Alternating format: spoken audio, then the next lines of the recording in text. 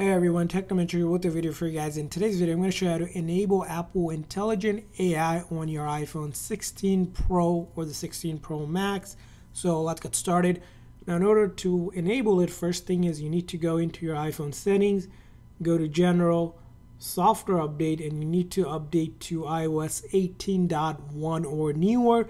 If you have an older version, you'll not get Apple Intelligent. And the other thing, of course, you need iPhone 16 Pro or any of the iPhone 16 lineup. You can also get on iPhone 15 Pro and the 15 Pro Max.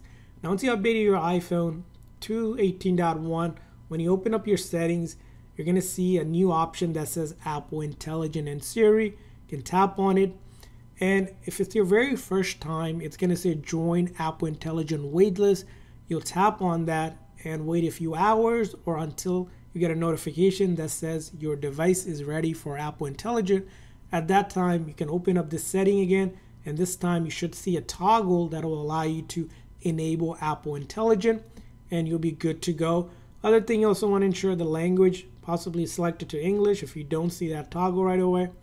And then we can go ahead and press and hold, and you can see that Apple Intelligent now is enabled on our iPhone 16 Pro or any device that's compatible with Apple Intelligent. That's how you enable or turn on Apple Intelligent on your iPhone 16 Pro. I hope this video was helpful. If so, please consider hitting that like and subscribe button for more tips and tricks for your iPhone and other iOS devices. We'll see you guys next time.